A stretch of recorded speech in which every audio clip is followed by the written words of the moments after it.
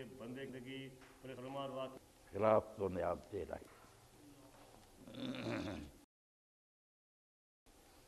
خلیفۃ اللہ، نائب۔ جی۔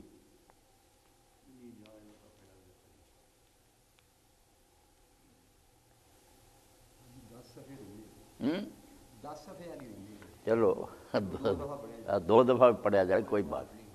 مضمون اہم ہے۔ اسلام میں عبادت کا تصور۔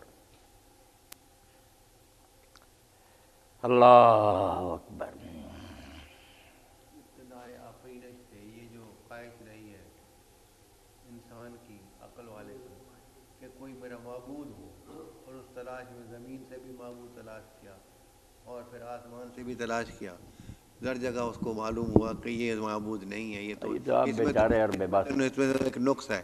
کبھی یہ گم ہو جاتا ہے کبھی یہ اگ پڑتا ہے کبھی یہ پھٹ جاتا ہے کبھی ٹوٹ جاتا ہے سورج ہے تو وہ گم ہو جاتا ہے۔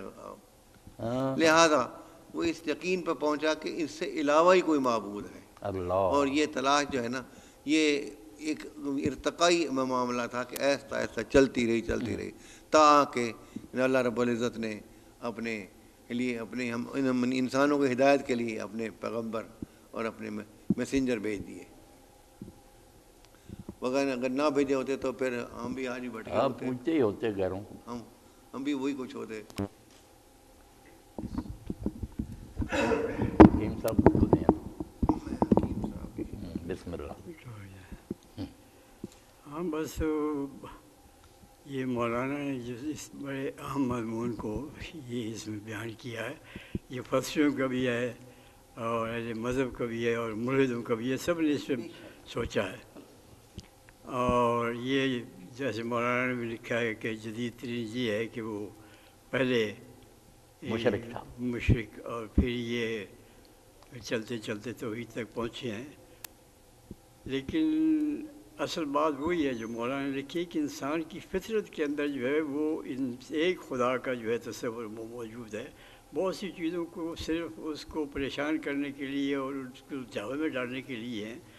وہ جیسے حضرت ابراہیم علیہ السلام کے بارے میں بھی پچھلی دفعہ آیا تھا کہ وہ ایک وہ بحث کرتے تھے کہ یہ کیا چیز ہے یہ تارے ہیں یہ خدا ہو سکتے ہیں نہیں ہو سکتے چاند ہے یہ نہیں ہو سکتا سورج یہ نہیں ہو سکتا۔ یہ سب آفرین ہیں۔ یہ گم ہو جانے والے ہیں ختم ہو جانے والے ہیں ان کا کوئی پتہ نہیں کہ ان کو کوئی اور کنٹرول کر رہا ہے یا کیا ہو رہا ہے۔ کبھی پتھر کو اس نے خدا بنا لیا کبھی کسی۔ اور مختلف چیزوں کے یہ دیوی کا ہے یہ حسن کا ہے یونانی دیکھے اتنے بڑے فلاسفر تھے وہاں کتنے موجود تھے۔ لیکن توحید تک وہ کتنے پہنچے وہاں وہاں ہر چیز کی ایک دیوی الگ موجود ہے۔ اور ہندوؤں کے یہاں تو ان کے کوئی تعداد ہی نہیں ہے نا۔ یہاں تو۔ کروڑوں کی تعداد میں ہے۔ کروڑوں کی۔ تو آپ دیکھیں کہ انسان کو شروع سے یہ ہدایت اللہ تعالیٰ نے یہ انسان کا آغاز آدم کو علیہ السلام توحید کے در سے پہلے۔ توحید۔ لیکن وہ توحید جو ہے اس کو یہ لیتے نہیں ہیں اور کہتے ہیں کہ بس یہ ایک فطری ارتقاء ہے۔ وہ جیسے مولانا نے لکھا ہے نا کہ حضرت مسیح علیہ السلام سے ڈھائی لاکھ برس پہلے توحید جو موجود تھے۔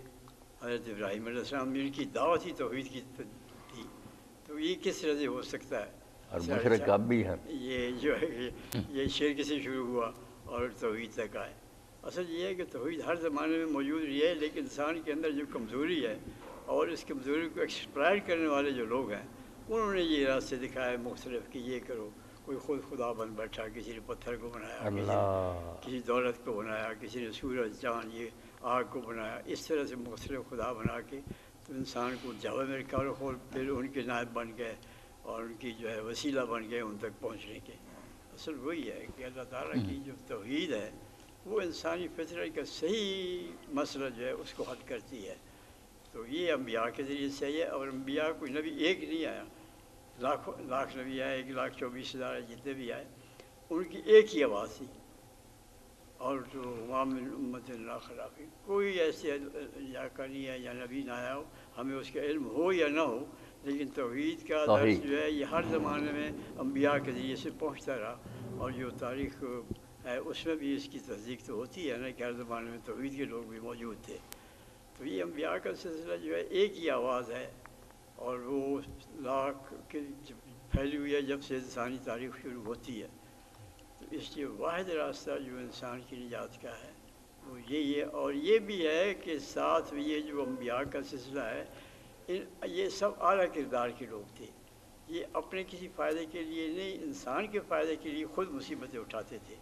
تو اس سے زیادہ بڑی کیا ہو سکتی ہے کہ ایک آدمی ایک ایسی دعوت دیتا ہے جس سے اس کو ذاتی فائدہ کوئی نہیں، بلکہ انسان ہوتا ہے، اس کو اپنی قوم والے اس کی بات کو رد کر دیتے ہیں۔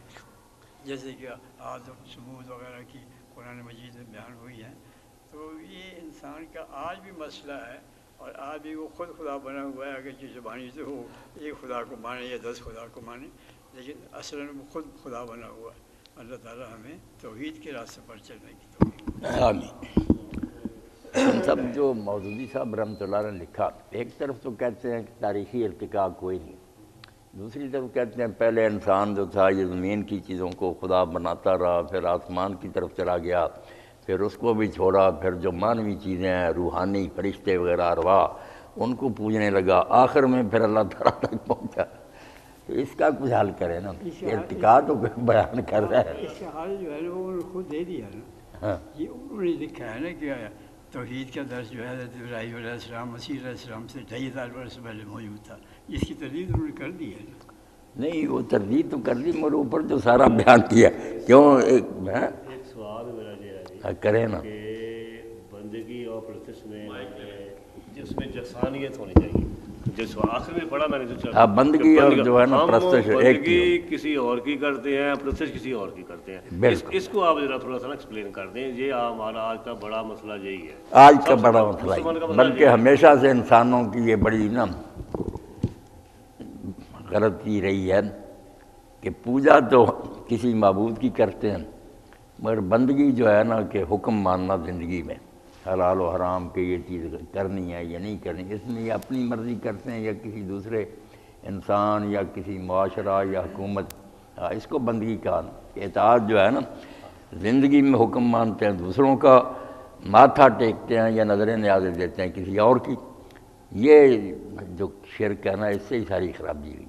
اب بھی مسلمانوں کا یہی حال ہے کہ پوجا کی حد تک تو اللہ تعالیٰ کو اب بھی کئی لوگ پوچھتے ہیں مسجدوں میں جاتے ہیں اللہ اللہ کرتے ہیں۔ مگر قانون جو ہے وہ اللہ کا نہیں چل رہا۔ اطاعت غیر اللہ کی ہو رہی ہے۔ یہ تحاکم تاغوت جو ہے کہ تاغوت بن گئے انسان اور ہم ان کے حکم مانتے ہیں ان کے فیصلوں پر چلتے ہیں۔ ہاں۔ اس سے ہی پھر بے چینیاں پیدا ہوتی ہیں کرپشنیں پیدا ہوتی ہیں۔ جب انسان آ جاتا ہے اس بات پر کہ اسی کو پوجے اور اسی کا حکم مانے، تو اس کے حکم جو ہیں وہ تو سارے انسانوں کی بہتری کے ہیں، اس میں کسی کی طرفداری نہیں۔ انسان قانون بنائیں گے تو جیسے علامہ اقبال کہتے ہیں کہ جو عقل خود بھی غافلت بہبود غیر سود خود بینت نہ بینت سود غیر امیر لوگ بنانا چاہیں گے قانون وہ اپنا خیال رکھیں گے کہ ہماری جاگیرداری سرمایہ کو نقصان نہ پہنچے ہیں؟ اور جب اپنے جرم معاف کرانے ہو گئے او بنا لیں گے تو وہ اپنا نفع دیکھیں گے دوسروں کا نہیں۔ وہی حق بھی نندا ہے سود ہم۔ اور اللہ کی وہی جو وہ سب کا نفع سوچی اس کے سارے بندے جو ہے وہ جو قانون بناتا ہے اس میں جانبداری نہیں طرفداری نہیں۔ ہم؟ در نگاہ سود و بہبود ہم۔ سب کا فائدہ۔ حکومت الہی ہے جو حکومت الہی یہ بہت بڑی خوبصورت بات کی ہے علامہ اقبال نے اب دیکھیں نیا آدمی اس کے کیا جواب دے سکتا ہے؟ نہیں۔ اب امریکہ والے اپنی سوچتے ہیں برطانیہ والا اپنا فائدہ سوچتا ہے۔ اور یہ پہلے اپنے مفاد کو سامنے رکھتے ہیں اس کے مطابق اپنے مفاد کی بھیٹ چلا دیتے آج اللہ۔ تو اللہ تعالیٰ جو اس کے تو سارے بندے ہیں اس کے لیے تو برابر ہیں کوئی نہیں۔ اسی لیے ریاض صاحب دین اسلام میں یہ بالکل عقیدہ بیان ہو گیا۔ اور جب اصول فقہ کی کتابیں پڑھائی جاتی ہیں پرنسپلز اس میں بتایا جاتا ہے کہ شارع اور حاکم سوائے اللہ کے کوئی نہیں رسول بھی شارع نہیں ہے وہ شریعت پہنچاتا ہے اللہ کی طرف سے۔ اس لیے سنت میں بھی جو کوئی بیان کرتا ہے وہ بھی اللہ کی رہنمائی ہوتی ہے۔ اپنی طرف سے وہ حلال و حرام نہیں کر سکتا۔ حلال و حرام جب بھی کوئی انسان کرے گا وہ کتنا ہی اچھا اس کے اپنے بھی کوئی مفادات ہوتے ہیں اس کے سے متاثر ہو جاتا وہ غیر جانبدار نہیں رہ سکتا۔ یہ جڑ ہے جڑ جڑ۔ ان الحکم اللہ اللہ حکم اللہ کا ہے کوئی دوسرا حکم نہیں جیسا ہاں۔ جڑ ہے ساری بیماری۔ جنگیں جو ہوئی ہیں عظیم جنگیں دوسری جنگ میں پانچ کروڑ آدمی جو ہیں وہ ضائع ہوئے تھے کس لیے ہوئے تھے؟ جرمنی کہتے تھے کہ تم لوٹ مار کر کے اپنی قوم کو خوشحال بنا رہے ہو۔ جرمن کیوں نہ بنے؟ جاپان کہتے تھے کہ ہم کیوں نہ بنے؟ تو کروڑوں آدمی جو ہے اس کی نظر ہوگی باقی جو کچھ نقصان ہوا مالی اس کا تو کوئی حساب ہی نہیں۔ صرف یہ ہے کہ تم لوٹ رہے ہو برطانیہ کو کہتے تھے ہمیں بھی حصہ دو۔ یہ وجہ تھی۔ اور یہ جب کشمیر کا سودا ہوا نا جی کشمیر کا سودا ہوا تھا پچہتر ہزار نانک شاہی روپے میں۔ اس میں جو شرط تھی انگریزوں میں نے وہ معاہدہ پڑھا ہے۔ اس میں شرط یہ تھی کہ کسی یورپین کو یا امریکہ کو یہ اپنے دربار میں نہیں رکھے گا۔ اس لیے کہ وہ بھی پھر حصے دار بن جائے گا ہمارا اس دور تو یہ جو ہے نا یہ انسان کی سب سے بڑی کمزوری ہے کہ وہ اپنی ذات پھر خاندان پھر قوم اس سے اوپر نہیں اٹھ سکتا۔ اس سے آگے نہیں جاتا۔ نہیں۔ لازمن نہ۔ وہ بالکل۔ اس پر یہ میں ہمیشہ ذاتی منفیت پہلے آ جاتی موجود ہے۔ بالکل۔ اور جہاں پر الہی ہے قانون ہے وہاں پر رب العزت نے سب کو سب کے لیے ایک کیا۔ مولانا جو مجلس اقوام جب بنی تھی حقیقت پہلی ہاں۔ اس وقت اقبال نے کہا نا کہ لوگ پوچھتے ہیں یہ بنی اب جو اب یو این او بن گئی ہے۔ انہوں نے کہتا من ازی بیچنا دانوں کے کفن دلدے چاند۔ بہرے تقسیم قبور اجمن صاحب مجھے اس کے سوا اور کوئی پتہ نہیں کہ یہ کفن چور ہیں۔ لڑائی ہو پڑتی تھی۔ انہوں نے اجمن مرا لیا کہ بھائی مل جل کرنا تقسیم کر لیا کریں قبریں لڑائی کفن چور۔ ہے کفن چور۔ اب اس سے بڑی کفن چوری کیا کہ چھ بڑے بنے بیٹھے ہیں ساری دنیا فیصلہ کرے جنرل اسمبلی وہاں جائے ایک نے بھی ویٹو کر دیا رد۔ ختم۔ کوئی نہیں پوچھتا کیا کوئی- پنچایت اب کیا ہو سارا جہاں ایک طرف ہو ایک نے کہہ دیا ہم نہیں مانتے۔ آپ دیکھیے یہودی کتنا ظلم کر رہے ہیں فلسطینیوں پر۔ ان کے بچوں کو مار دیتے ہیں۔ ان کا پانی بند کر دیتے ہیں ان کی ہر چیز۔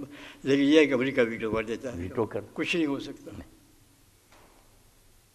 مسلمانوں کی شامت آئی۔ مولانا جو گدے کو حرام کیا تھا وہ حضور نے آپ خود کیا تھا لگا کچھ کیا تھا؟ نہیں وہ بات میں نے اشارتاً بتا دی نا کہ بالکل اس بارے میں مسلمانوں کو ذہن کلیئر ہے کہ رسول اللہ حدیث میں کسی شے کو منع کریں وہ بھی وہی ہے۔ آپ نے اپنی طرف سے نہیں کیا ایک وہی قرآن مجید میں درج ہو جاتی ہے ایک رسول اللہ صلی اللہ علیہ وسلم کی حدیث میں ہوتی ہے۔ مجھے قرآن بھی دیا گیا اور اس کے ساتھ برابر کی چیز۔ اس لیے آپ اپنی طرف سے حرام نہیں کرتے۔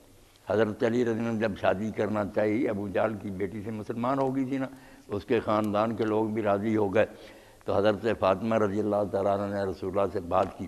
اب اس پر بھی لوگ کرتے ہیں کہ جی حضور نے اپنی بیٹی کے لیے کیوں برداشت نہ کی؟ مگر پہلے آپ نے بالکل اعلان کیا کہ میں حلال کو حرام نہیں کر سکتا اور حرام کو حلال نہیں کر سکتا۔ قانون اپنی جگہ پر علی اگر کرے، کیوں؟ کس طرح روکا جا سکتا؟ دین ہے۔ مگر جہاں تک مسئلہ کا تعلق ہے رسول اللہ کی بیٹی اور اللہ کے دشمن کی بیٹی جنہوں کا ایک گھر میں نبھا مشکل ہوگا کبھی کوئی جھگڑا ہو گیا تو پھر مجھے تکلیف پہنچے گی اب بھلی سوچ لے اگر ایسا کرنا چاہتا تو فاطمہ کو چھوڑ دے ان کے لیے یہ اشارہ ہی کافی تھا میں نے پہلے کہہ دیا کہ میں حلال کو حرام نہیں کر سکتا حرام کو حلال نہیں کر سکتا یہ نہیں میرے بس میں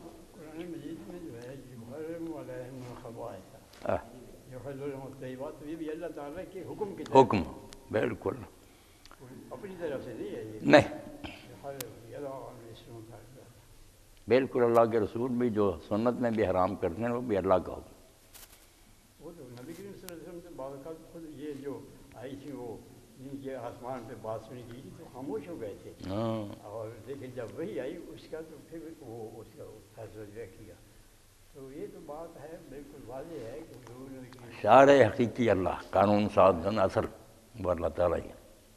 اور باقی جو چیزیں تھیں اس میں یہ تھا کہ جو چیزیں اس طرح کی نہیں تھی جن کا قانون سے تعلق ہے وقتی طور پر ان میں وہ دوسروں کی رائے کو بھی نبی کریم صلی اللہ علیہ وسلم کو تسلیم کرتے تھے۔ کرتے۔ میدان جنگ بدر کو میدان جب جہاں کیمپ لگایا حضور نبی کریم صلی اللہ علیہ وسلم نے تو وہاں ایک تھے اباب ہند انہوں نے کہا حضور یہ وہی ہے یا آپ کی اپنی رائے ہے۔ انہوں نے کہا کہ میری اپنی رائے ہے یہ وہی نہیں ہے۔ انہوں نے کہا اگر وہاں ہم اپنا کیمپ لگائیں تو وہی بہتر ہوگا کیونکہ ہمارے پاس پانی بھی ہمارے پاس زیادہ ہوگا ہم اونچی جگہ پہ ہوں گے ہم حضور نے اپنی رائے بدل۔ کئی مرتبہ۔ وہ انتہائی پارلیمنٹرین تھے۔ ہاں۔ یہی تربیت کی تھی تو لوگ خلیفوں کے مقابلہ میں اٹھ کھڑے ہوتے ورنہ آپ نے یہ سکھایا ہوتا شخصیت پرستی کا سبق دیا ہوتا۔ ہاں۔ اس کی شورا کی اس سے زیادہ کوئی یعنی مثال نہیں دی جا سکتی کہ یہ جنگ عہد میں جہاں ایک طرف اتاب ہو رہا ہے ان پر جنہوں نے کیا اپنا لیکن یہ ہے کہ نبی کریم صلی اللہ علیہ وسلم کو یہ نہیں کہا کہ آپ ان سے ناراض ہوں بلکہ یہ کہا انہی لوگ جن کی وجہ سے شکست ہوئی ان سے مشورہ کریں۔ مشاور فلم انہی سے مشورہ کرنے کا حکم ہے جو وہاں سے وہ سے جن میں پا- پاؤں جن کے اکھڑ گئے تھے یہ اس قدر ہے زیادہ۔ پھر بھی انہیں لوگوں سے مشورہ ہم لوگ شورا بہنوں مشاور فیض اعظم کر اللہ تو یہ جو ہے نا یہ تو اللہ تعالیٰ نے ان- انعام ہے کہ لوگ اس وقت تک کسی چیز کو یہ آشنا نہیں تھے جو کہ اسلام نے جس کو کیا ہے۔ بالکل جتنی آزادی دی حضور نے کوئی کہ کوئی خاص طبقہ نہیں تھا کہ اسی خاص طبقے نے فیصلے کرنے ہیں۔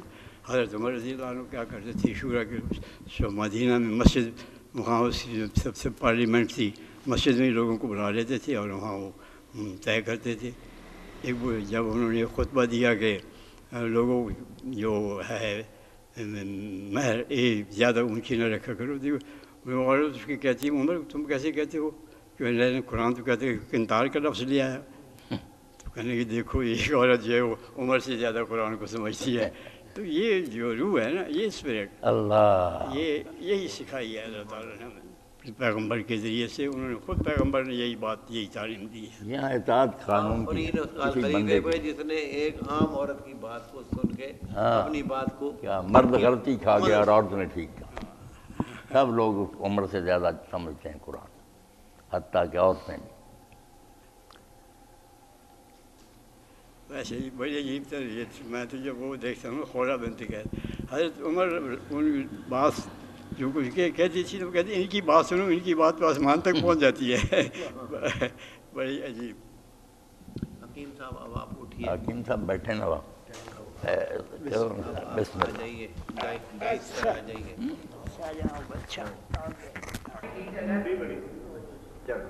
نو نہیں جی ویسے نو بجے جو ہے نا آئندہ زیادہ سویر ہوگی ویسے ساڑھے نو ہی رکھے ہیں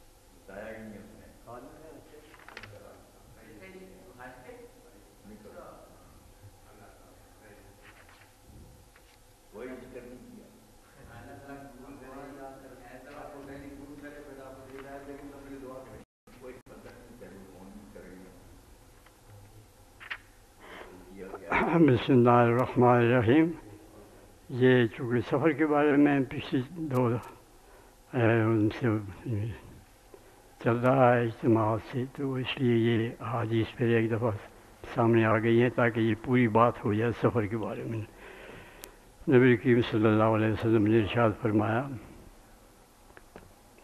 عن نبی سعید الخدری رضی اللہ تعالیٰ عنہ قال بینما نحن في سفر إذ جاء رجل على راحلة له. فجعل يصرف بصره يمينا وشمالا.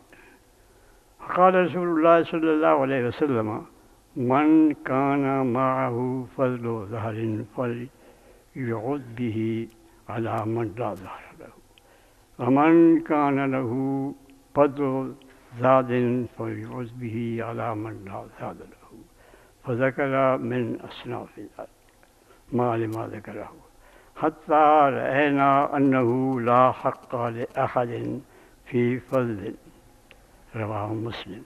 وعن جابر رضي الله تعالى عنه عن رسول الله صلى الله عليه وسلم أنه إذا أراد أن يغزو قال يا معشر المهاجرين والأنصار إن من إخوانكم قوما ليس لهم مال ولا عشيرة فليزم أحدكم إليه الرجلين والثلاثة فما لأحدنا من زهر يحمله إلا عقبه أحدهم. قال فضممت إلي اثنين أو ثلاثة. وما لي إلا عقبة أحدهم. عقبة عقبة.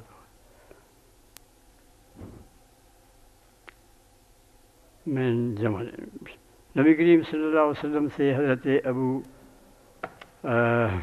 سید خدری نے یہ روایت کی ہے کہ ہم ایک غزبے میں تھے، غزوہ وہ جنگ ہوتی ہے نبی کریم صلی اللہ علیہ وسلم، جس میں خود شریک ہوتے تھے۔ اس کو غزوہ کہتے ہیں۔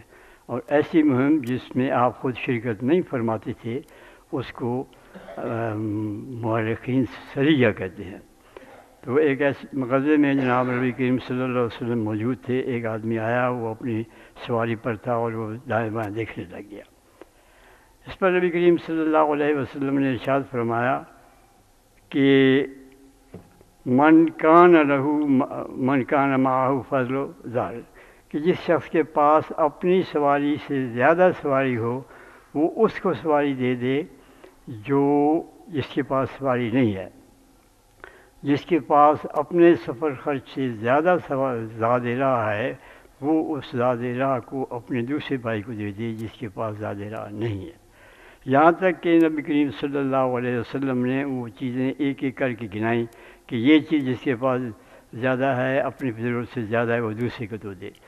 تو حضرت سعید ابو سعید کہتے ہیں کہ ہم یہ سوچنے لگ گئے کہ حضور نبی کریم صلی اللہ علیہ وسلم کا تو مطلب جو ہے، یہی معلوم ہوتا ہے کہ جس کے پاس کوئی چیز بھی اپنی ضرورت سے زیادہ نہیں ہے، وہ دوسرے کو دے دے۔ اسی طرح نبی کریم صلی اللہ علیہ وسلم کا ایک اور ارشاد جو ہے، وہ حضرت جابر رضی اللہ تعالیٰ عنہ نے نقل کیا ہے۔ اس میں انہوں نے کہا ہے کہ نبی کریم صلی اللہ علیہ وسلم نے فرمایا کہ تمہارے بعض ایسے بھائی ہیں جن کے پاس سواری نہیں ہے۔ تو وہ اپنے ساتھ دوسری سواری کو بٹھا لے۔ تو حضرت یہ کہتے ہیں، حضرت جابر کہتے ہیں کہ ہم نے، میں نے خود اپنے ساتھ ایک یا دو سواریاں بٹھا لی۔ باری باری سے ہم کرتے تھے اور اس اونٹ پر جو میرا اونٹ تھا وہ میرا اونٹ نہیں تھا، اس وقت میرا بھی اتنا ہی اس پر حق تھا اور میں بھی اسی طرح سواری اس سے کرتا تھا جس طرح میرے دو، جن کو میں نے اپنے ساتھ بٹھایا تو وہ کرتے تھے۔ گویا یہ تربیت دی جا رہی تھی ایک لحاظ سے کہ ایک تو یہ ہے کہ انسان جو ہے وہ اپنی چیز جسے کہتا ہے وہ دراصل اپنی چیز اس کی اسی حد تک ہے، جس حد تک اس کی ضرورت پوری ہوتی ہے۔ لیکن اگر ایک ایسا شخص موجود ہے جس کے پاس اس کی ضرورت کی چیز موجود نہیں ہے اور دوسرے کے پاس اس کی ہے، تو وہ اس کا یہ حق بنتا ہے کہ وہ اپنی جو زائد ضرورت چیز ہے وہ اپنے دوسرے بھائی کو دے دے۔ چنانچہ آپ یہ دیکھیے کہ حضور کے ارشاد کے مطابق جب انہوں نے یہ فرمایا، تو صحابہ نے پھر اپنے ساتھ دوسری سواریاں بٹھا لی کسی نے ایک بٹھا لی، کسی نے دو بٹھا لی۔ اور اس وقت کوئی دیکھنے والا یہ نہیں کہہ سکتا تھا کہ اس کا مالک کون ہے۔ کیونکہ اگر ایک چار گھنٹے سواری کرتا تھا تو دوسرا بھی چار گھنٹے سواری کرتا تھا، تیسرا بھی چار گھنٹے سواری کرتا تھا۔ باری میں اس کا بھی حصہ تھا اتنا حصہ تھا جتنا کہ اصل مالک کا تھا۔ یہ نہیں تھا کہ اصل مالک جو ہے اس کو زیادہ دی جائے۔ اور خود نبی کریم صلی اللہ علیہ وسلم جو ہے، ان کا اس پہ کیا تھا؟ آپ نے صرف یہ نہیں ہے کہ ایک ہدایت دی، بلکہ یہ ہے کہ اس پر خود بھی عمل کیا۔ اور صحابہ کرام رضی اللہ تعالیٰ عنہ، ان ان بھی یہ نہیں ہے کہ جیسے کہ ابھی بات ہو رہی تھی کہ مان مانتے کسی کی ہیں اور اطاعت کسی کی کرتے ہیں؟ کہ نبی کریم صلی اللہ علیہ وسلم کے زبان مبارک سے جو بات نکلی، اس پر انہوں نے عمل بھی کیا۔ جب انہوں نے یہ کہا کہ زیادہ ضرورت جتنی چیزیں کسی کے پاس سواری یا زیادہ رہا ہے تو وہ دوسروں کو دے دے، تو لوگ اس پہ بالکل انہوں نے کوئی تعمر نہیں کیا۔ لوگوں نے سمجھا کہ بس ٹھیک ہے، یہ سب ہماری مشترک چیز ہے، جس کے پاس نہیں ہے وہ اور اس کے پاس ہے، وہ جس کے پاس ہے، وہ اس کو دے دے گا۔ اسی طرح سے پھر لوگوں نے اپنے ساتھ لوگوں کو بٹھا لیا اپنی سواری پر۔ خود نبی کریم صلی اللہ علیہ وسلم جو ہے انہوں نے خود اس پر عمل کیا۔ یہ ہے کہ یہ حضرت جابری کی روایت کے مطابق کہ جب نبی کریم صلی اللہ علیہ وسلم جو ہے، سفر کرتے تھے تو وہ کہنا یہ تخلف ہو فی فصیر فیوز جی ضعیفہ، ویردف ہو وید ہو کہ آپ نبی کریم صلی اللہ علیہ وسلم جو ہیں، جن کی سواری ذرا کمزور ہوتی تھی، اس کو ہانکتے تھے۔ اور جس کے پاس سواری نہیں ہوتی تھی یورد ہو ان کے اپنے ساتھ بٹھا دیتے تھے اور اس کے لیے دعا کرتے تھے۔ یعنی خود عمل کر کے دکھایا کہ پیغمبر اس سے مسلسلہ نہیں ہے، وہ بھی اسی طرح سے اپنی سواری پہ دوسروں کو دے گا۔ اور اس کے زیادہ مزید یہ کیا کہ جن کی سواریاں کمزور ہوتی تھیں اور تیز نہیں چلتی تھی ان کے پیچھے چلتے تھے تاکہ ان کو بھی چلا کے دوسرے قافلے کے ساتھ ملا لے۔ اور اس سے آپ دیکھیں، نبی کریم صلی اللہ علیہ وسلم نے صرف یہ ہے کہ انسانوں کا خیال نہیں رکھا کہ وہ دوسروں کے انسانوں کا خیال رکھیں، بلکہ سفر میں آپ یہ جانوروں کا بھی خیال رکھتے تھے، چنانچہ ایک حدیث میں آتا ہے کہ نبی کریم صلی اللہ علیہ وسلم نے فرمایا کہ جس کے پاس سواری ہو اور اگر راستہ جو ہے وہ سبزہ دار ہے، راستے میں اس سواری کے کھانے پینے کے سامان ہے تم تم اس کو تیز نہ چلاؤ، تاکہ وہ راستے میں کھاتا پیتا چلے اور اس کو طاقت ملتی رہے۔ لیکن اگر اس کی وہ راستے میں یعنی ویرانہ ہے، جنگل ہے، صحرا ہے، جہاں راستے میں اس کو کھانے کی چیز نہیں ہے، تو اس کو تم تیز چلا دو تاکہ وہ جلدی پہ اپنی منزل پہ پہنچے، وہ آرام کر لے اور اس کو مل جائے۔ تو ایک دوسری حدیث میں آتا ہے کہ نبی کریم صلی اللہ علیہ وسلم کے کتابی کہتے ہیں کہ جب ہم جاتے تھے تو ہم باقی اپنے آرام کا بعد میں سوچتے تھے، سب سے پہلے یہ کرتے تھے کہ اونٹوں کے جو اوپر کجاوے وغیرہ ہوتے ہیں، ان کو جو ہے ان کو آرام کر کے، ان کو کھول کے، ان کو بٹھاتے تھے تاکہ ان کو جو ہے آرام پہلے دیں اور پھر اپنی ضروریات جو ہے ان کے اہتمام بعد میں کریں۔ اسی طرح سے نبی کریم صلی اللہ علیہ وسلم نے ایک اونٹ کو دیکھا۔ کہ ان کا وہ جو ہے کہ حدیث میں الفاظ اس طرح کے آتے ہیں کہ اس کی پیٹھ جو ہے وہ پیٹ سے مل گئی ہے یعنی وہ لا غیر بالکل کیا۔ تو نبی کریم صلی اللہ علیہ وسلم نے فرمایا کہ جن سے تم کام لیتے ہو، تم ان کی خدمت بھی کرو، ان کو جو تو تمہاری خدمت کرتے تو تم بھی ان کے لیے وہ خیال کرو۔ اسی طرح نبی کریم صلی اللہ علیہ وسلم اور عبادات جو ہیں، حالانکہ سفر میں بہت کچھ رعایت موجود ہے، خود نماز کے اندر سے دگانہ موجود ہے۔ لیکن پھر اہتمام کیا ہوتا تھا کہ سفر میں بھی جو ہے عبادت کی اہتمام پوری طرح سے موجود ہے۔ چنانچہ حدیث میں آتا ہے ایک میں کہ نبی کریم صلی اللہ علیہ وسلم جب پڑاؤ کرتے تھے، اگر پہلی رات میں پڑاؤ کرتے تھے تو اس وقت وہ یہ تھا کہ اپنے اطمینان سے لیٹ جاتے تھے، سو جاتے تھے۔ لیکن اگر وہ صبح کے قریب ہونے کے وقت کہیں جاتے تھے، اب صبح تو نہیں ہوتی تھی تو پھر آپ ایسے کرتے تھے کہ ایک کونی جو ہے اس کو کھڑی کر کے اس پہ سر رکھ دیتے تھے تاکہ نیند نہ آ جائے اور نماز جو ہے وہ اس میں خلط انداز نہ وہ قضا نہ ہو جائے۔ یہ آپ نبی کریم صلی اللہ علیہ وسلم کا اس میں حسن تھا کہ نماز کے لیے اس قدر اہتمام، حالانکہ نیند آ جائے تو وہ تو نیند والی تو پھر نماز بھی جو ہے اس میں ہو جاتی ہے نا، اللہ تعالیٰ کی طرف سے بھی معافی ہو جاتی ہے۔ لیکن یہ ہے کہ آپ اہتمام کرتے تھے کہ نماز جو ہے اس میں کوئی خلل واقع نہ ہو، وہ اپنے وقت پہ اسی طرح سے ادا ہو، جس طرح کی حضر میں نماز ادا کرتے ہیں۔ تو یہ نبی کریم صلی اللہ علیہ وسلم کے ارشادات جو ہیں، یہ ہمارے اس لیے ہیں کہ ہم آج کی سوسائٹی میں بھی اس چیز کو دیکھیں کہ کس حد تک ہم ایک دوسرے کی مدد کرتے ہیں۔ ہماری سوسائٹی جو بھری ہوئی ہے، ان لوگوں سے جن کے پاس کچھ نہیں ہے اور جو خودکشیاں کر رہے ہیں اور مائیں اپنے بچوں کو ڈال رہی ہیں، خود اپنے ہاتھ سے دھارا کر رہی ہیں اور باپ جو ہیں وہ خودکشیاں کر رہے ہیں، چل جاتے ہیں۔ اس سوسائٹی میں ہم رہ رہے ہیں اور ہم مسلمان ہیں اور یہ مسلمانوں کی سوسائٹی ہے۔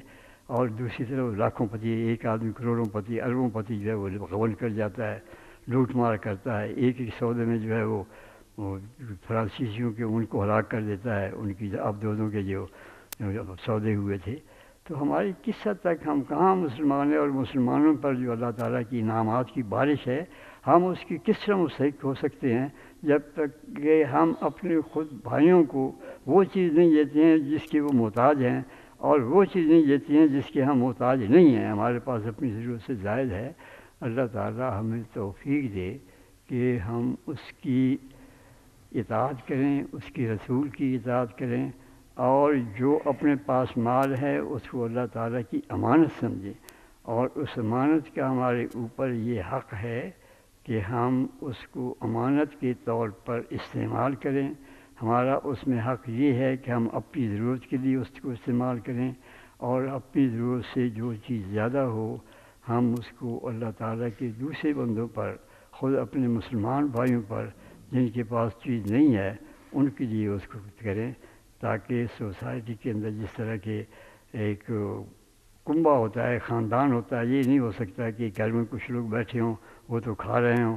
اور دوسرے جو ہیں وہ ان پیٹ ان کا جو ہے وہ قلو اللہ پڑھ رہا ہو تو یہ نہیں ہے، بلکہ یہ ہے کہ ایک حدیث میں نبی کریم صلی اللہ علیہ وسلم کا یہ ارشاد ہے کہ ایک آدمی اگر پیٹ بھر کر بھر دیتا ہے اپنا، اور دوسرا جو ہے وہ اس کا پیٹ خالی ہے، وہ بھوکا ہے، تو اس کا ایمان ہے، لا یومن احدکم یشبع وجارو جائے یہ نبی کریم صلی اللہ علیہ وسلم کا ارشاد ہے۔ امام بخاری نے اس کو اپنے مفرد میں نقل کیا ہے کہ جس شخص کا اپنا پیٹ بھرا ہوا ہو اور اس کا پڑوسی جو ہے وہ بھوکا ہو، تو وہ شخص جو ہے وہ اپنی نمازیں پڑھیں یا صلاتیں پڑھیں یا جو کچھ بھی کریں اس کی تمام نمازیں اور باتیں جو بیکار ہیں، وہ ایمان اس میں نہیں ہے، جبکہ کیونکہ اس نے تو امانت میں خیانت کر رہا ہے، وہ تو جو اس کے پاس زائد ہے، وہ تو دوسروں کا ایسا اس میں سے کیوں نہیں دیتا؟ اللہ تعالیٰ ہمیں توفیق دے کہ ہم اس کی اطاعت اس طرح سے کریں جس طرح کی اطاعت کا حق ہے۔ صرف یہ نہیں ہے کہ پوجا پاٹ کریں اور جو احکام ہیں ان کی تعمیر نہ کریں۔ اس سے ہمارے سارے مسائل جو ہے پیدا ہوتے ہیں اور ہمارے مسائل کا حل یہی ہے کہ ہم اللہ تعالیٰ کی راستے میں وہ سب کچھ دے دیں۔ جو ہمارے بھائی جس کے محتاج ہیں، چاہے ہمارے پاس کم ہو یا زیادہ ہو، آخر دعوانا۔ الحمد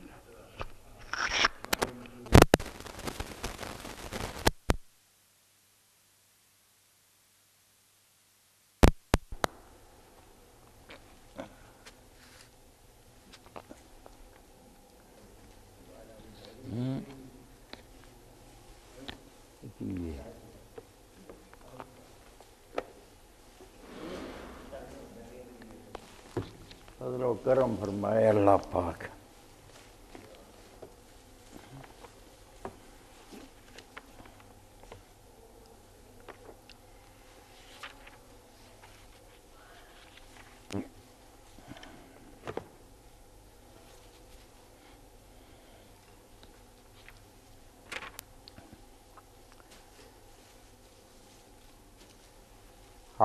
باللہ من الشیطان الرجیم بسم اللہ الرحمن الرحیم واذکر فی الكتاب اسماعیل انہو کان صادق الوعد وکان رسولا نبیا وکان یامر اہلہ بالصلاة والزکاة وکان عند ربہ مرضیا سورہ مریم کی ہی دو آیتیں میں نے آپ کے سامنے پڑھی ہیں، چون اور پچپن۔ ان میں اللہ تعالیٰ نے کعبہ کے بنانے والوں میں سے اسماعیل علیہ السلام کا ذکر کیا۔ آپ جانتے ہیں کہ عالم اسلام کا جو روحانی مرکز ہے، وہ اللہ تعالیٰ نے مکہ معظمہ میں مقرر کیا۔ مصابت الناس اور وہاں ان دنوں عالم اسلام کا سب سے بڑا اجتماع ہوتا ہے۔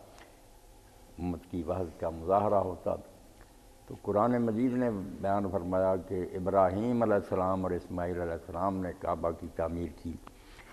تو اسماعیل علیہ السلام کا یہاں خصوصی ذکر ہوا۔ ان کے کچھ اوصاف بیان ہوئے ہیں جو ہمارے لیے نمونہ تھے۔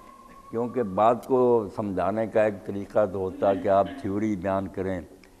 ویسے سمجھاتے جائیں کہ زکوٰۃ یہ ہوتی ہے، نماز یہ ہوتی ہے۔ ایک ہے کہ کوئی آدمی جو پڑھ رہا ہے یا زکوٰۃ دے رہا نمونے کے طور پر وہ دکھا دیں کہ یہ ہوتے ہیں زکوٰۃ دینے والے یا نماز پڑھنے۔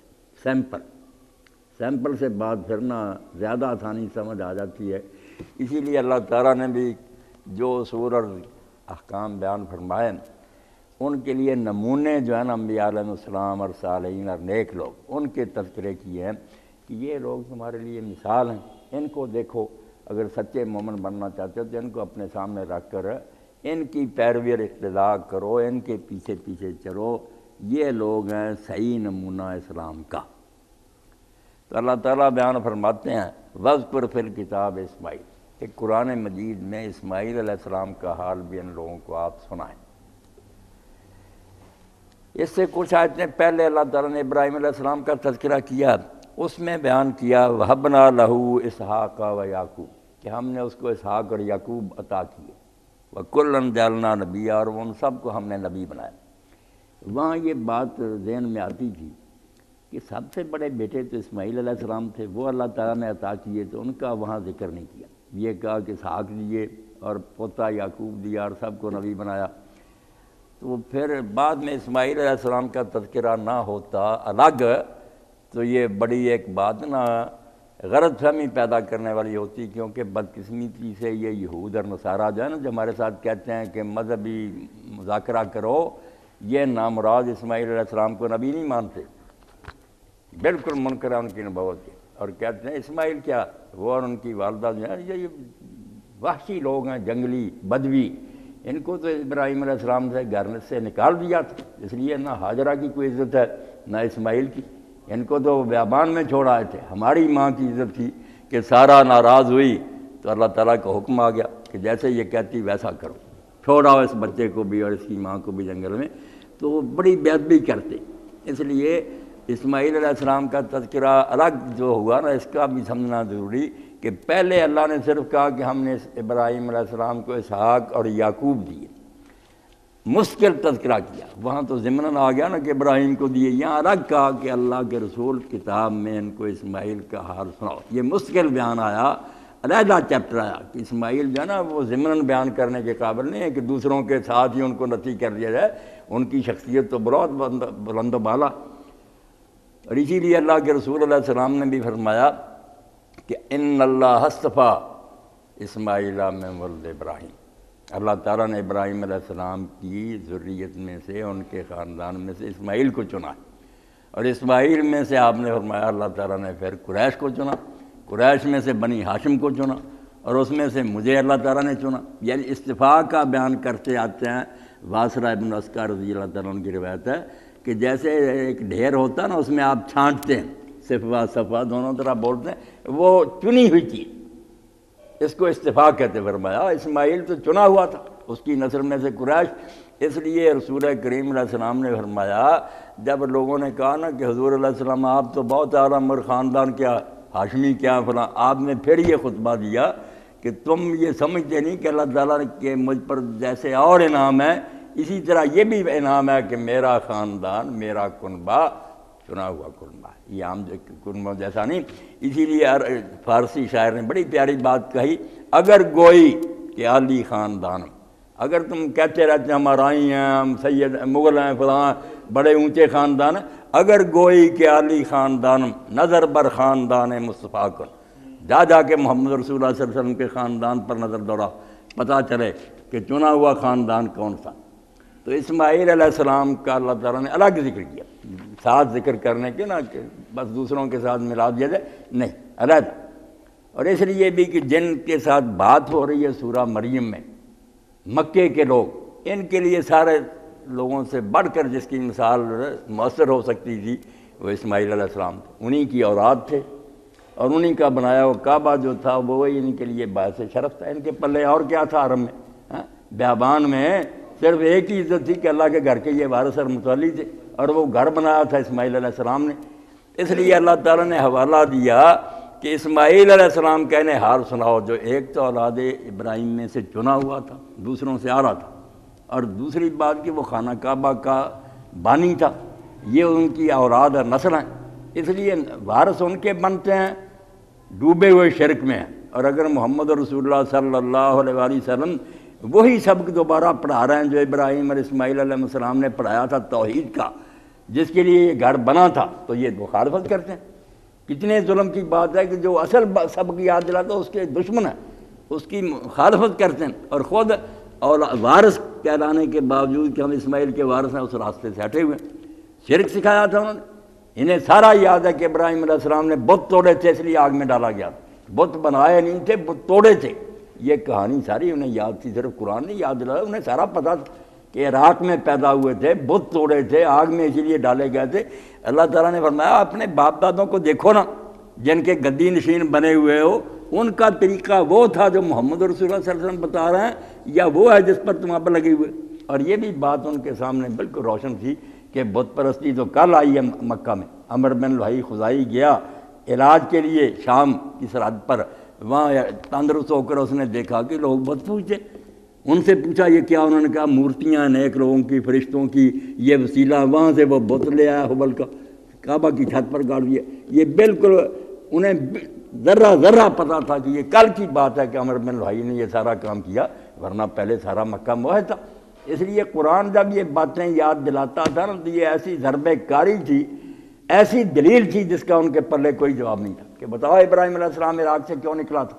آگ میں کیوں ڈالا گیا تھا؟ بت بنائے تھے یا توڑے تھے؟ اور تم یہاں صدیوں تک اللہ کی بات کرتے رہے، یہ امر بن بھائی خدائی کے بت لانے سے پہلے سارے مکہ میں توحید ہی توحید تھی۔ تو اللہ تعالیٰ فرماتے ہیں کہ اسماعیل کا حوالہ دو انہیں کہ تمہارا باپ ہے، بیت اللہ شریف کا بانی ہے، اس کے تم وارث ہو۔ اور اب یہ نام ہی پیارا ابراہیم علیہ السلام نے کیسا رکھا؟ اسماعیل۔ آپ یقین جانیں، جیسے ہم کہتے ہیں نا، سمیع اللہ۔ عربی میں سمیع اللہ۔ ہاں؟ ایسے آئیے۔ اسما سن لی۔ عید اللہ۔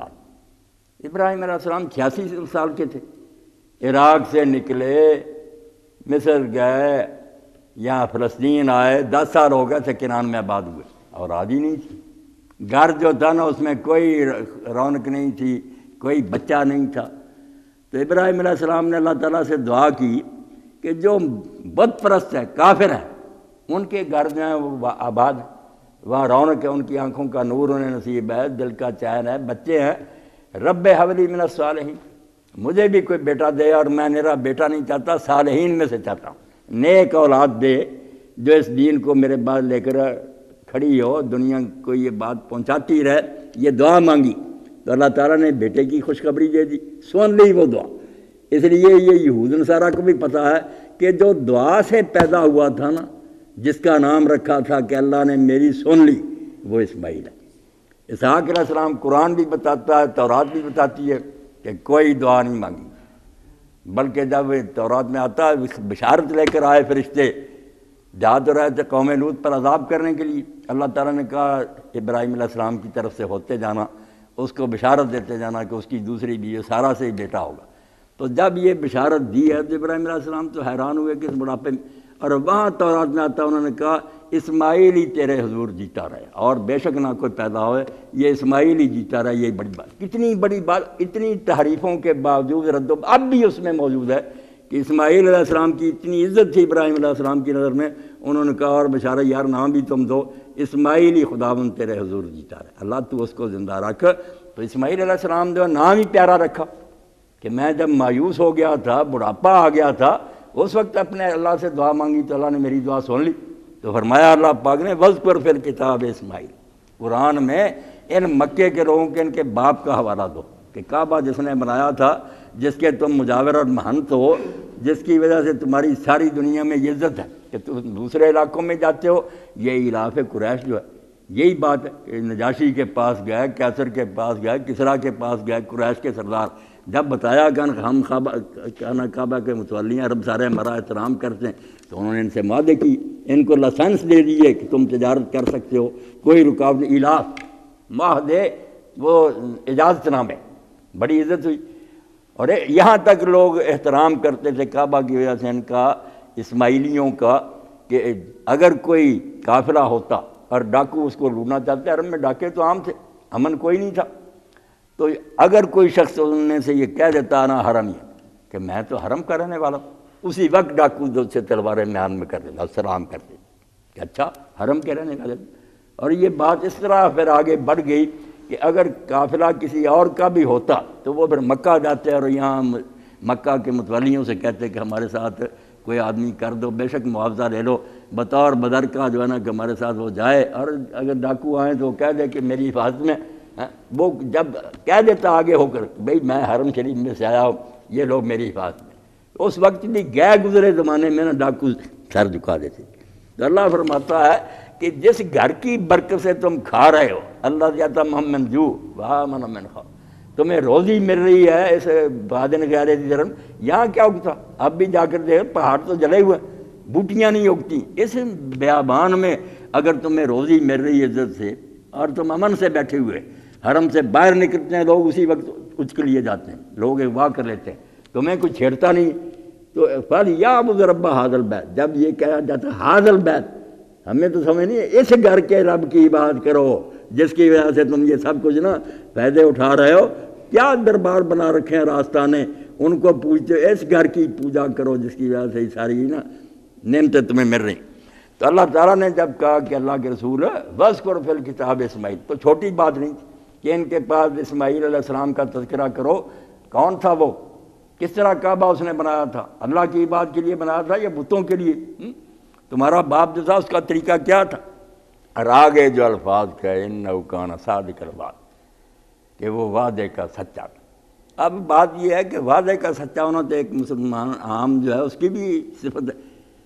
اللہ کے رسول علیہ السلام نے فرمایا، تین باتیں جس میں ہوں، وہ تو پکا منافق ہے۔ کہ وعدہ کرے، پورا نہ کرے، بات کرے تو جھوٹ بولے، امانت میں خیانت کرے، تو وعدہ میں سچا ہونا تو عام مسلمان کا وسع اب ابراہیم علیہ السلام کے بیٹے حضرت اسماعیل علیہ السلام کا کہنا کہ وہ وعدے کا سچا تھا۔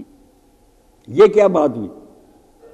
بات اصل میں یہ ہے کہ دین جو ہے نا سارا، یہ پورے کا پورا عہد ہی ہے۔ آپ یقین جانے جب ہم کلمہ پڑھتے ہیں نا، یہ عہد ہوتا ہے کہ ہم اللہ تعالیٰ سے یہ وعدہ کرتے ہیں کہ ہم نے تیری بندگی رتاعت قبول کی۔ ہم یہ اپنے آپ کو تیرے سپرد کرتے ہیں کہ جو تیرا حکم ہوگا وہ مانیں گے۔ یہ وعدہ جس کو اللہ کہتا ہے، اللہ تم سے یاد لیتا اب جو ایسا ہو کہ اللہ تعالیٰ یہ سرٹیفکیٹ دے کہ اس نے جو عہد اپنے رب سے کیا تھا، ایک وعدہ اور بھی وہ ذکر آ جائے، مگر اصل میں یہی مراد ہے کہ اسماعیل علیہ السلام نے جو وعدہ اپنے رب سے کیا، اس کو نبھا دیا۔ پوری زندگی اس نے پھر اپنے اس عہد کے خلاف کوئی کام نہیں کیا۔ اللہ تعالیٰ کا ہر حال میں وہ متی تھا۔ اللہ کی طرف سے یہ سرٹیفکیٹ کہ جو ایک بندہ مومن، اللہ سے عہد کرتا اس کو اس نے نبھا دیا۔ بہت بڑی بات۔ ان نوکان صادق الواد اور سب سے زیادہ پھر اس وعدے کے پورے ہونے کے وقت وہ آیا۔ معراج اس وعدے کے افا کی کہ جب باپ نے کہا، بیٹا، میں نے خواب میں تجھے دیکھا کہ میں تجھے ذبح کر رہا ہوں۔ بات خواب کی تھی نا۔ بہانہ بنا سکتا تھا۔ ابا جی خواب کی وجہ سے مجھے ذبح کرنا چاہتے ہیں۔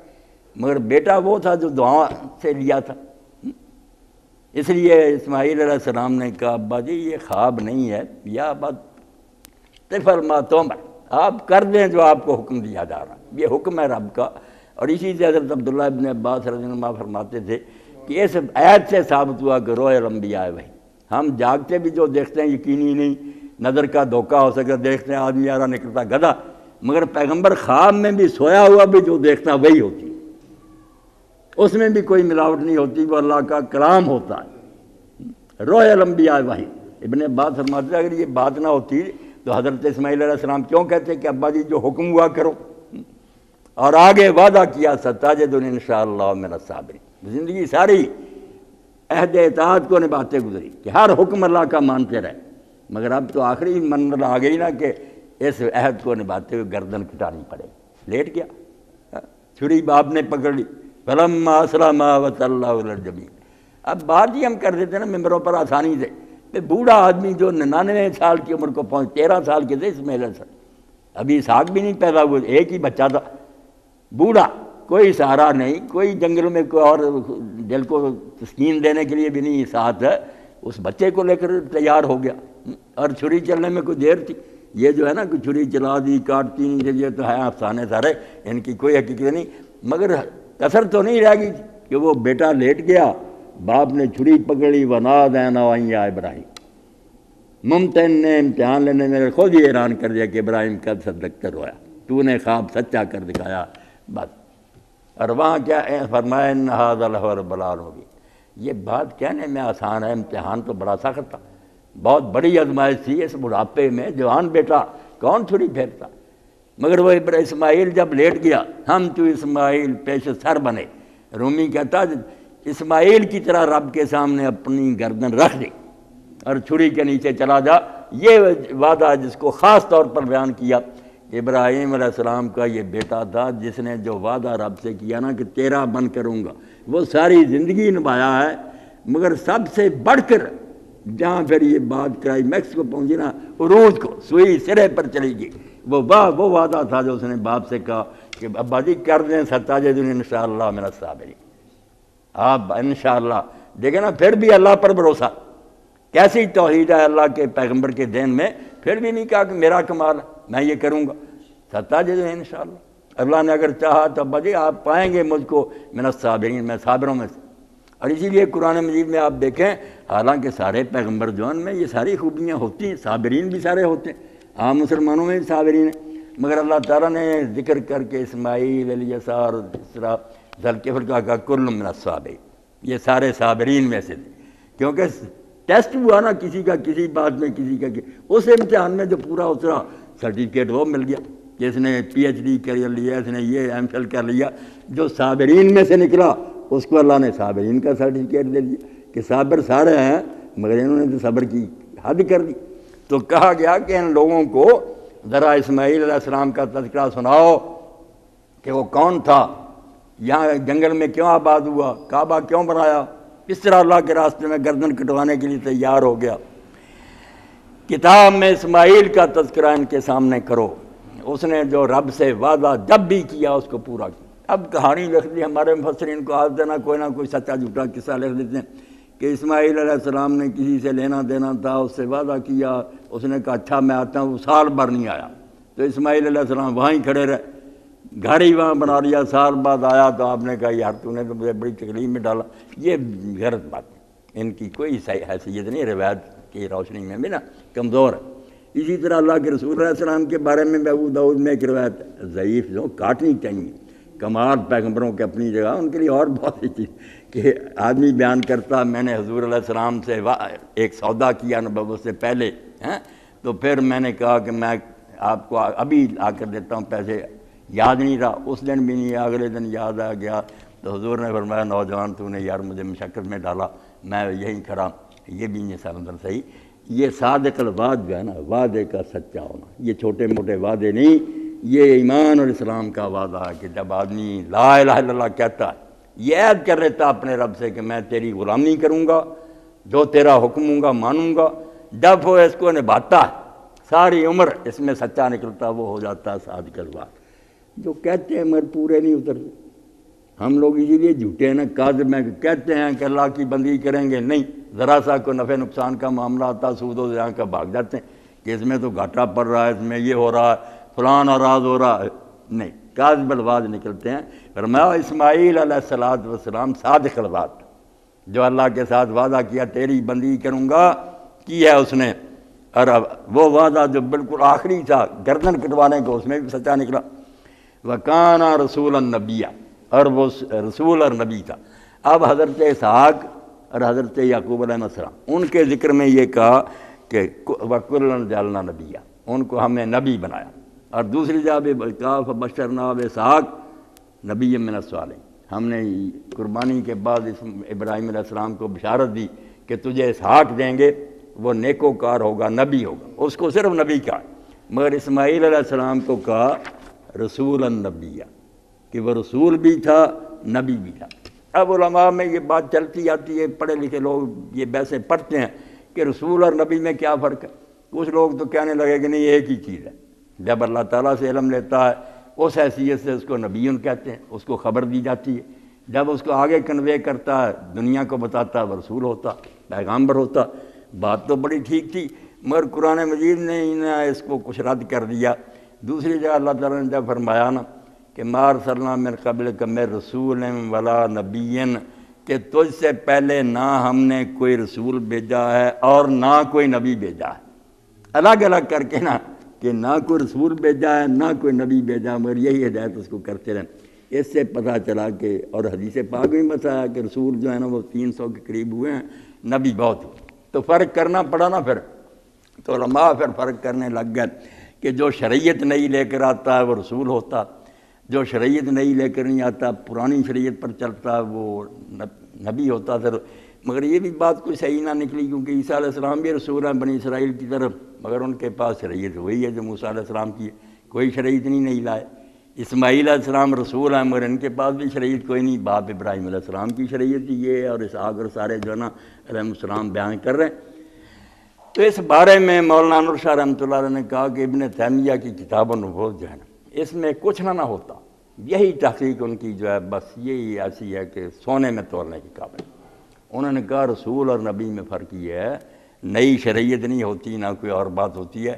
رسول کا کام جو ہے نا مشکل ہوتا وہ صرف ماننے والوں کی طرف نہیں آتا کہ نبیوں کو مانتے مگر ذرا بگڑ گئے، ان کو درست کر نہیں۔ وہ جو بالکل مکذب ہو جاتے ہیں نا توحید کو ہی نہیں مانتے، آخرت کے منکر ہو جاتے ہیں، خالص پکے کافر ہو جاتے ہیں نا، ان کو بھی نئے سرے سے مسلمان بنانے کے لیے آتا جو نبی ہوتے ہیں، جیسے بنی اسرائیل میں بہت نبی ہوئے، موسیٰ علیہ السلام کو مانتے تھے نبیوں کو مان بگڑ گئے تھے کوئی؟ تو ان کی اصلاح کے لیے جو آتا ہے جیسے ہماری امت میں مجدد ہے وہ نبی جو بالکل کافروں کی طرف آتے ہیں نا، وہ رسول اور مرسل ہوتے ہیں، اس وقت بڑی ٹکر لگتی ہے۔ وہ لوگ مان ہی نہیں رہے ہوتے، اللہ کی توحید کو یا سرے سے قیامت کو ہی نہیں مانتے، یا وہی کے آنے کو نہیں مانتے۔ تو اسماعیل علیہ السلام چونکہ عرب میں بھیجے گئے، عرب کے لوگ جو بنو جرم تھے یہ سارے پہلے نے کوئی نبی نہیں ملا تھا، کوئی ان کے پاس دین نہیں تھا، یہ پکے جو ہے نا کافرین اور منکر، وہ تھے۔ ان کو منوانا کہ اللہ ہے، ایک ہے، آخرت ہے، یہ بڑی بات تھی۔ اس پر مولانا شاہ رحمۃ اللہ علیہ فرماتے ہیں کہ یہ تحقیق جن ابن تملک یہ نہیں کہ پھر ٹوٹتی۔ اور یہ بہت عمدہ اسی کو مولانا بدر عالم رحمۃ اللہ علیہ نے ترجمان و میں پھر نقل کیا اور بڑی تحسین کیا کہ ان کا یار بہت اچھا کام ہے، بڑی علمی بات ہے۔ تو فرمایا کہ وہ رسول النبی تھا ہاں، صرف عام مسلمانوں کو درست کرنا ہی اس کا کام نہیں تھا، جو سرے سے اللہ تعالیٰ کے منکر یا توحید کے منکر یا آخرت کے، ان کو بھی دوبارہ اسلام میں لانا ان کا کام تھا۔ وکان یام الرحلہ بصلاۃ و زکوٰۃ وکان اندر رب مرضیہ۔ اب دیکھیں کہ اللہ تعالیٰ کو یہ اپنے بندے کتنے پیارے ہیں۔ نبوت اور رسالت کتنا بلند منصب ہے، کتنا اونچا مرتبہ ہے۔ کہ اللہ اپنے بندوں کا تذکرہ کرتا جیسے کوئی نعت خان تھکتا نہیں نا، ایسے بیان کرتا جاتا تو اسماعیل علیہ السلاۃ والسلام کا کہا کہ ایک تو کہ اپنی حالت اس کی وہ تو درجہ بیان کر لیا کہ جو اللہ تعالیٰ کا حکم ماننے کا حق تھا، اس نے ادا کیا اور جو وعدے رب سے کیے پورے کیے۔ مگر اسی پر بس کی نہیں فرمایا، وکان یا مرحلہ بصلاۃ و زکوٰۃ وہ اپنے گھر والوں کو بھی، اپنے ماننے والوں کو بھی نماز اور زکوٰۃ کا حکم دیتا تھا۔ جو دین اسے ملا تھا پہنچا کا نمونہ ہمارے لیے آیا کہ جو صرف اپنی حد تک نیک بنتا نا کہ میں اپنی کملی کو بچا کر لے جاؤں اور جنت میں چلا دوں یہ کوئی شے نہیں۔ کوشش کرو کہ جو دوسرے ڈوب رہے نا، ان کو بھی بچاؤ، ان کا ہاتھ پکڑو۔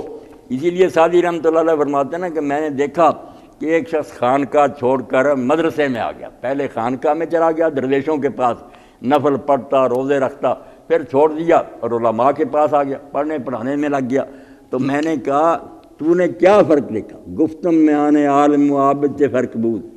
تا اختیار کر دیا دائیں فریق کہ عالم میں اور عبادت کرنے والے میں کیا کیا فرق نظر آیا کہ تو نے عابدوں کو چھوڑ دیا، عالم کے پاس آ گیا؟ گفتاں گلی میں خیش برومی براد موج۔ اس نے کہا، وہ عابد کیا؟ کہ اپنے کمبل کو بچا کر لے جانا چاہتا کہ میرا کمبل نہ گیلا ہو۔ وہیں جہد کناد کے بغیرت غریق اور سچا عالم ہے تو وہ کوشش کر رہا دن رات کہ جو دوسرے ڈوب رہے ہیں، میں ان کو بھی کنارے پر لے جاؤں۔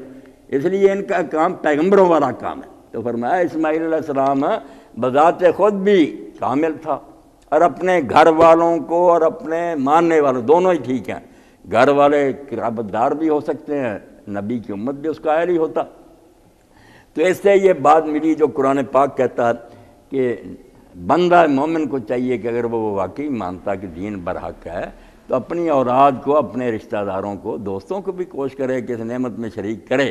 ورنہ یہ تو اس کے جھوٹے ہونے کی علامت ہوگی نا کہ اتنی اعلیٰ چیز ہے تو تم اپنے بچوں کو بھی نہیں دینا چاہتے۔ تم بڑے کنجوس اور بے رحم ہو کہ خود جنت میں جانے کی فکر ہے، یہ بیچارے جہنم کو جا رہا ہے اور کوئی اسی لیے اللہ تعالیٰ نے کہا کو ان خسا کیوں والی نارا خود بھی اپنے آپ کو آگ سے بچاؤ۔ اپنے جتنے گھر والے ہیں، کوشش کرو۔ اگر وہ ڈوب جائیں، جیسے نو علیہ السلام اور لوت علیہ السلام کی بیویاں غرق ہو گئی، ہوتی رہے، تم تو کوشش کرو ہاں؟ اپنی طرف سے کوئی کثر نہ چھوڑو۔ اور اسی طرح سورہ آگے آ رہی تو اس میں بھی کہا کہ اپنے گھر واہ مراحلہ کا بسرا اپنے گھر والوں کو بھی نماز کا کہا کرو بس صبر اور اس پر جمے رہو۔ تو بیان کرنے والا کہتا ہے کہ ہم حضرت عمر رضی اللہ کے پاس سوتے تھے تو یہی دیکھتے تھے کہ وہ تہجد کے وقت اٹھتے، پھر گھر والوں کو بھی جگاتے اور یہی آیت اس وقت پڑھتے واہ مرحلہ کا بسترا کہ اللہ کہتا گھر والوں کو بھی کہو اور اللہ کے رسول علیہ السلام نے حضرت ابو سعید خدری، ابو ریرا رضی اللہ عنہ کہتے ہیں، فرمایا کہ اللہ اس گھر والوں پر رحم کرے کہ اگر بیوی کو جاگ آئی تہجد کے وقت، اس نے اپنے خامد کو جگایا۔ خامد جاگا، بیوی کو جگایا۔ اگر نہیں جاگا چھینٹے مارے اس کے منہ پر اور انہوں نے دو رکھتے ہی اٹھ کر پڑھ لی نا تو اللہ تعالیٰ انہیں ذاکرین میں لکھ دیتا کہ انہیں اللہ یاد ہے، یہ گھوڑے بیچ کر نہیں سوئے، فکر ہے کہ ایک دن اللہ کی عدالت میں جانا، بیچارے لوگ سوئے ہوئے ہیں، گرم بستروں پر یہ اٹھ کر میرے سامنے چیخ رہے ہیں ہاں؟ تو اللہ تعالیٰ کہتے ہیں کہ اس اسماعیل علیہ السلام خود سالے اور نیک ہونے کے ساتھ ساتھ اپنے گھر والوں کو بھی نماز اور کا حکم دیتا اب بجائے سارا دین بیان کرنے کے، آپ نے دیکھ لیا کہ صلاح اور زکوٰۃ دو کا ذکر ہوا۔ ابھی محترم حکیم صاحب بیان کر رہے تھے کہ اللہ کا دین کیا ہے؟ حقوق اللہ۔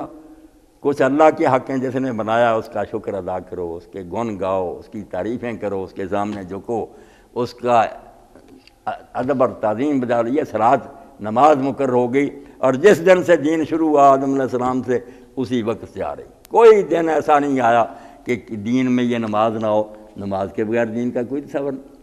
آپ دیکھتے ہیں کہ وہ طائف والے جب اسلام لانے کے لیے مجبور ہو گئے، جب سارے عرب میں دین پھیل گیا، تو جنہوں نے پتھر مارے تھے، خود آئے مدینہ پھر۔ مسلمان ہونے لگے اور کہنے لگے، اللہ کے رسول، ہم یہ منوانا چاہتے ہیں کہ ہم جو ہے نا، زکوٰۃ نہیں دیں گے۔ آپ نے فرمایا، ٹھیک ہے۔ ہم جہاد میں حصہ نہیں لیں گے، منظور۔ پھر انہوں نے کہا، نماز نہیں۔ آپ نے فرمایا اللہ خیر فی دین اللہ فی ارکو۔ وہ جس دین میں اللہ کے سامنے جھکنا ہی نہیں، اس دین کا پھر کیا فائدہ؟ ایسے دین کا کوئی فائدہ نہیں، نہ میں ایسا دین قبول کر سکتا۔ بعد میں لوگوں نے کہا کہ اللہ کے رسول وہ بھی حکم اسی طرح کے فرمایا۔ نہیں، ان کا وقت جب آئے گا نا، اس وقت تک یہ اس طرح تیار ہو جائیں گے۔ خود زکوٰۃ دے لے کر آئیں گے، خود جہاد کے لیے شوق دار کریں گے۔ میں ضد کرتا تو رکاوٹ پڑ جاتی۔ حکم سے دین کا نقطہ نماز تو ابھی آ جانی تھی۔ میں اگر مان جاتا، یہ نماز نہ پڑھتے، سارا گناہ میرا ہوتا۔ اس لیے نماز نہیں، نماز کے بغیر دین کوئی نہیں۔ اور دوسرا، زکوٰۃ، حقوق العباد۔ اب حقوق العباد اس بندے سے زیادہ کون ادا کرے گا جو اپنی محنت کی کمائی، شوق سے دوسروں پر لٹائے اور خرچ کرے اور اس میں اس کو لذت آئے، اس سے بڑھ کر پھر دوسرے حقوق کیوں نہ وہ پورے کرے گا؟ جو مال تک اپنا لٹا دیتا ہے اللہ کی رضا کے لیے، حاجت مندوں پر، اور کون سی کثر رہے گی؟ پھر کون اور کون سی ہمدردی جو نہ کرے گا؟ مال ہی تو سب سے بڑی رمائش ہے، جس کے بارے میں کہنے والے کہتے ہیں، اگر جان چاہتے تو لے رہا ہوں مال چاہتے تھے نہ ہے۔ کنجوسی ایسی بری بات ہے۔ تو کہا کہ اسماعیل علیہ السلام اپنے گھر والوں کو جب یہ دو نام لے دیے جاتے ہیں نا قرآن میں کہ نماز اور زکوٰۃ، وہاں ہی نہیں رکنا سمجھ لینا کہ یہ عنوان ہے سلاد عنوان ہے، حقوق اللہ کا، زکوٰۃ عنوان ہے حقوق العباد کا۔ یہ کہہ دو کہ وہ بندوں کا حق بھی ادا کرنے کا حکم دیتا تھا اور اللہ کا حق ادا کرنے کا بھی حکم دیتا تھا۔ اور ساتھ جو اللہ تعالیٰ نے کہا، اللہ اکبر وکان عند رب مرضی اللہ رحمت کرے امام فخر الدین راضی پر، وہ کہتا بحاظہ نہایت فرمدی اب اس سے آگے ایک حرف بھی باقی نہیں رہا، تعریف کا کلمہ کہنے کے لیے۔ اور کیا کہنا ہے؟ ساری دنیا سوچے، کیا کہے گی اس وکان عند رب مرضی کہ اسماعیل اپنے رب کے ہاں پسندیدہ تھا، وہ رب کی مرضی کا تھا۔ جس معاملے میں اللہ نے اس کو جانتا وہ معیار پر پوتا ہوتا جیسا اللہ چاہتا نا کہ میرا بندہ ایسا بنے۔ اسماعیل علیہ السلام ہر معاملے ویسا ہی تھا۔ وہ کہتے ہیں ول مرضی و اندر اللہ اللہ کے ہاں تو وہی پسندیدہ ہوگا۔ ول فائز و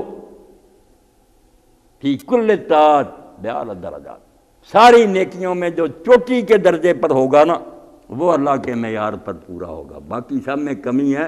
جس کو اللہ کہتا ہے، یہ ہے میری مرضی۔ کا وکان رب مرضی وہ رب کے ہاں بالکل اللہ کی مرضی کا تھا۔ اس کا پسندیدہ تھا۔ جیسا بندہ رب کو چاہیے، وہ ویسا ہی تھا۔ کسی معاملہ میں اس نے رب کو ناراض نہیں کیا۔ اس لیے اللہ تعالیٰ نے فرمایا ہے، یہ اوراد جو ہے نا اسماعیل علیہ السلام کی، ان کو بتاؤ۔ کہ تم نے نماز بھی ضائع کر دی ہے۔ سورہ انفال میں آتا کہ نماز اب تمہاری رہ گی کیا؟ نہ رکوع ہے، نہ سجدہ نماز کا کچھ طریقہ تالیاں بجاتے ہو، بھجن گاتے ہو۔ کھانا کعبہ کے گرد ایسے ہی تھا نا تالیاں بجاتے پھرتے تھے، گیت گاتے پھرتے جیسے اب ہمارے یہاں محفلیں ہوتی ہیں۔ تو اللہ نے کہا، مقام تسجیہ رہ گیا۔ نہ ابراہیمی نماز ہے، نہ وہ رکوع، سجدے ہیں، یہ گیت گاتے پھرتے ہو۔ ارزکات کے بارے میں کہا کہ تم کنجوس ہو گئے فضار اللہ یہ یتیموں تک کو دھکے دیتے۔ تم غریبوں کو کھانا نہیں کھلاتے اور متولی بنے ہوئے کھانے کعبہ ہاں؟ اور جن کا باپ کہتا تھا کہ زکوٰۃ دو، ان کا حال یہ ہو گیا کہ یتیم کو دھکے دیتے ہو مسکین کو کھانا تک نہیں کھلاتے۔ شرم کرو، نام لیوا کن کے، وارث کن کے کہراتے اور طرز عمل تمہارا کیا؟ تو ان دو آیتوں میں آپ دیکھ لیں، اللہ نے اپنے برگزیدہ اور ذیل قدر رسول اسماعیل علیہ السلام کے بارے میں وہ باتیں بتائیں جو ہمارے لیے نمونہ ہے کہ خود بھی ٹھیک ہو۔ جو اللہ سے وعدہ کیا کہ اللہ تیری بندی کرے نبھاؤ اور اپنے گھر والوں کو، ساتھیوں کو، جہاں تک تمہارے بس میں ان کو جہنم سے بچانے کی کوشش کرو اور اللہ تعالیٰ کے پسندیدہ بندے بنو واخر دعوانا الحمد للہ رب العالمین و صلی اللہ تعالیٰ خیر خلق محمد علیہ وصحب اجمعین۔ ہاں؟ ہاں کوئی ہے ذہن میں؟ چھ دسمبر کو انشاءاللہ اگلا۔ قربانی فرض ہے واجب ہے یا مستحب ہے؟ ہاں؟ سنت۔ بس صحیح کرے صحیح بات ہے۔ سنت۔ باوجود کہ آدمی کسی سال نہیں دیتا نہیں کرتا تو وہ مجرم نہیں ہے۔ کوشش کرنی چاہیے کرتا ہی رہے۔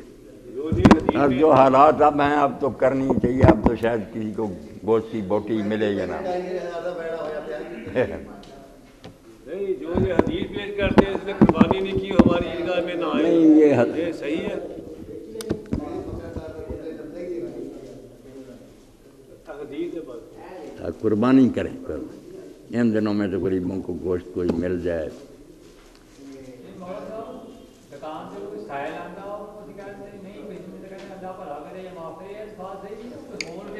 نہیں، یہی بہتر ہے۔ ان کی بجائے نا، جو جن کو آپ جانتے ہیں نا، کہ وہ بیچارے سفید پوش ہیں، مانگ نہیں سکتے، ان کی در پردہ خبر لیا کریں۔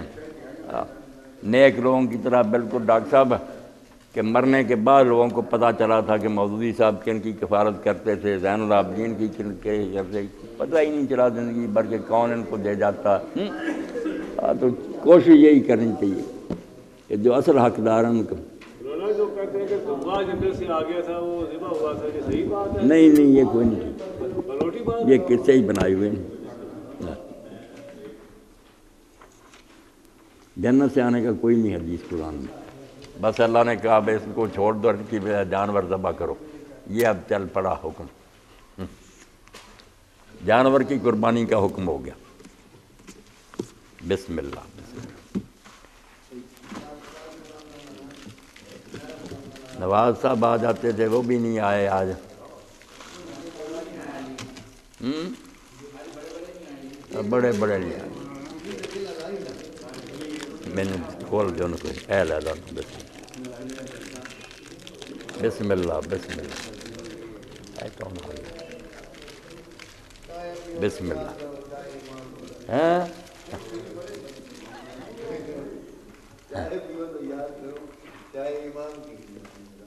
اے کون آ گیا بسم اللہ ہاں بسم اللہ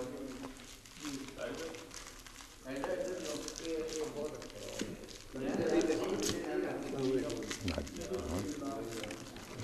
یہ کتوں آیا ہے جماعت کے مال یہ ہو رہا نہیں تھا دین دے تھا نا ایک کوئی تھی نہیں وعلیکم۔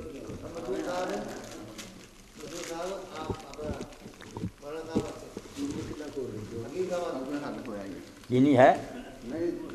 ہاں میٹھا، بہت میٹھا۔ بہت میٹھا ہے شربت حکیم جی۔ قاری صاحب شربت سے میٹھا کر کے دیتے ہیں۔ چینی ملتی نہیں، شربت سے بیچارے نا حکیم صاحب کو بھی دیں نا کھول کر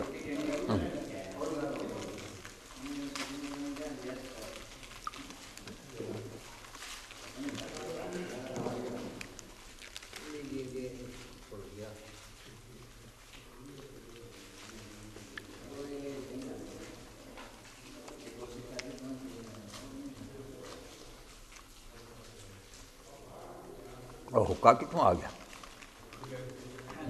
نو بجے ٹائم رکھنا ہے نا قائد صاحب یہ یہ پہلے بتایا شروع میں اے ماسٹر صاحب کیا جانا آدھے نہیں شروع چ کپ کپ پی لیا کہ بس گرمی پیدا ہو جائے حکیم صاحب ਨੂੰ ਜ਼ਰੂਰ ਇੱਕ ਕੱਪ ਜਾ ਕੇ ਆਉਂਦੇ ਪੰਜ ਕੀ ਬੰਦੇ ਹੁੰਦੇ ਆ ਚਲੋ ਹਕੀਮ ਸਾਹਿਬ ਦੇ ਇੱਕ ਜ਼ਰੂਰ ਲੈਵਾਂਗੇ